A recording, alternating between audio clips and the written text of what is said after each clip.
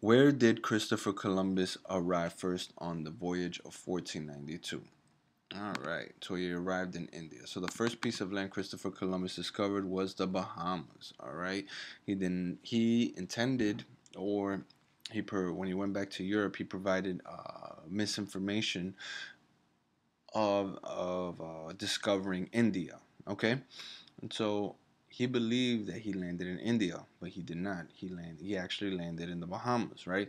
And then he further on misled people, uh, believing that he even hit China, but he never hit China. He hit somewhere like around uh, the Cuban area, the Cuban region.